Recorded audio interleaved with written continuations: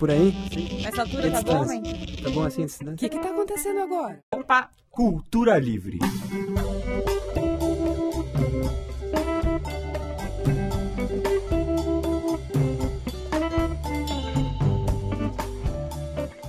Cultura livre por porcas borboletas. Liberdade na criação, liberdade na transmissão, liberdade no acesso. Thank you.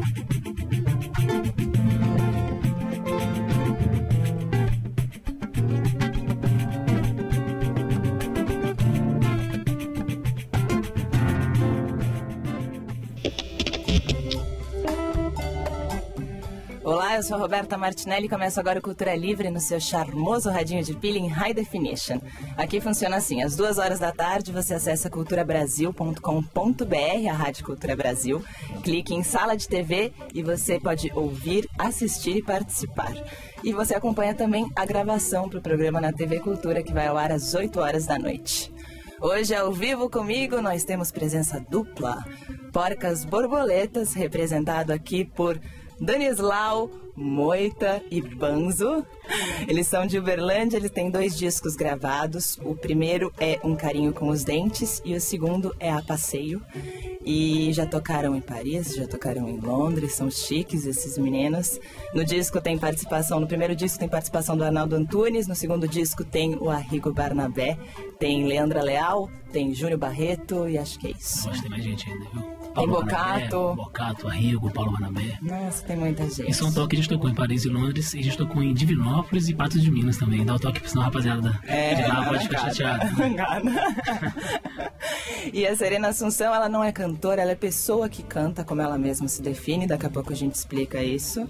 E ela também foi um dos pilares do, do lançamento da Caixa Preta, a obra que reúne toda a discografia do Itamar Assunção, mais dois inéditos. A gente já vai começar com música ao vivo, daqui a pouco a gente conversa mais. Vamos começar com Itamar Assunção.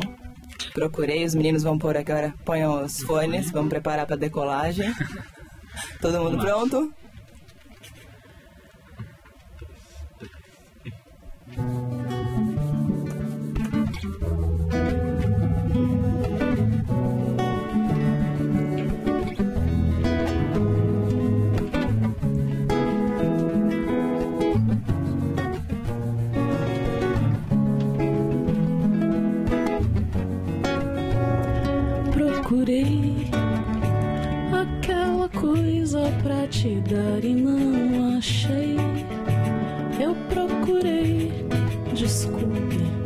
Revirei.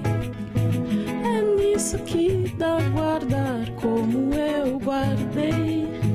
Eu procurei, desculpe. Procurei aquela coisa pra te dar e não achei. Eu procurei, desculpe, revirei. É nisso que dá guardar como eu guardei.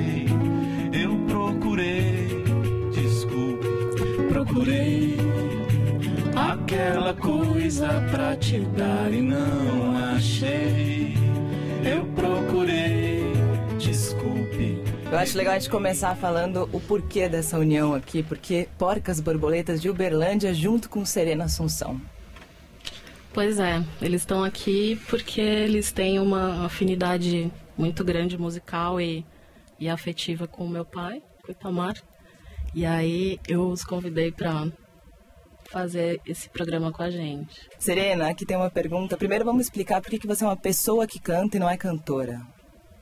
Ai, porque cantor é muito pesado, né? Cantora é Maria Bethânia, é Ella Fitzgerald, sei lá, eu não, não tenho essa vibe, não.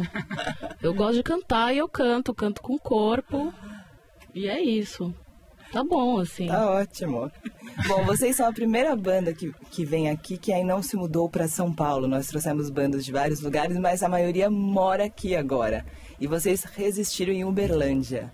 É, a gente tá lá em, lá em Uberlândia. A gente tá devendo muito favor aqui em São Paulo, então a gente, quando a gente não puder pagar esses favores, a gente não vai poder pintar na área. E como é que é em Uberlândia? Tem muito espaço para show? Ó, Uberlândia é, um- é- é legal porque como a gente já tem mais de 10 anos de história, a gente meio que acompanha, né, o movimento da cidade, assim, com seus altos e baixos. Quando a gente começou, era bem diferente de hoje. Era essa coisa, por exemplo, de uma banda não ter som autoral tal, não, não, não rolava. Parece que tinha rolado ali nos anos 80, mas a gente nem se lembra disso. Mas não tinha, a gente foi, era meio é, estranho no ninho, assim, quando, quando a gente começou com, com essa história. E aí de lá pra cá foi rolando movimento, pintou jambolada, né? Pintou espaços, tal, coisas assim. Vamos lá, porcas borboletas, o rato. Dois, três,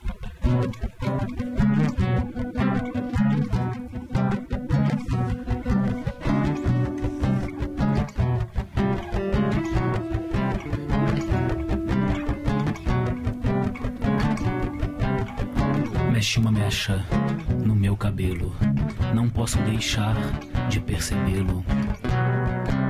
Com olhar periférico capto.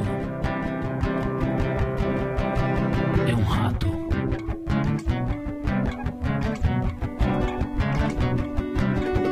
Ele é meu único companheiro. Passa comigo o tempo inteiro. No escuro do sonho camuflado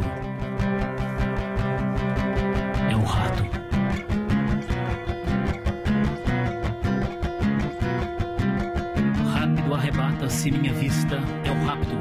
Rápido apaga-se qualquer pista, é o rastro. Mais de rastro que de carne, é o rato.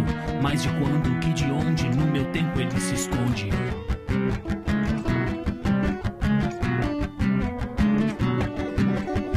Mexe uma mecha no meu cabelo.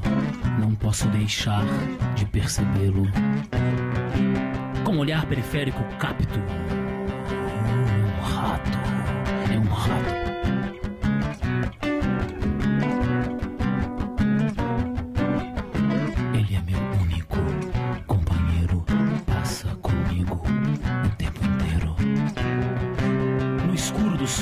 Camuflado.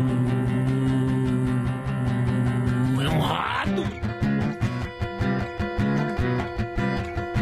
Tem gente perguntando como é que vocês definem o som de vocês.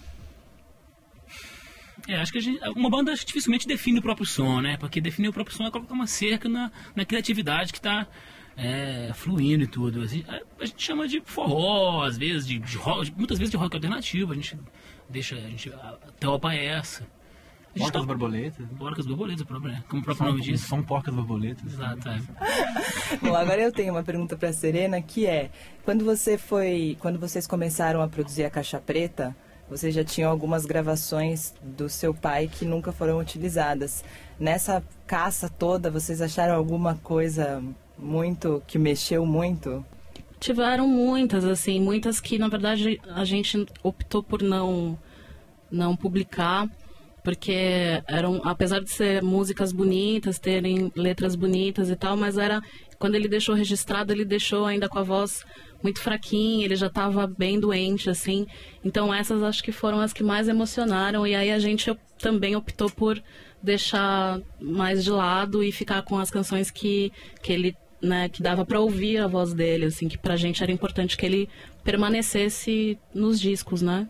Cantando como ele cantava. Então vamos terminar o Cultura Livre fazendo Itamar Assunção com fim de festa, belíssima música. Meu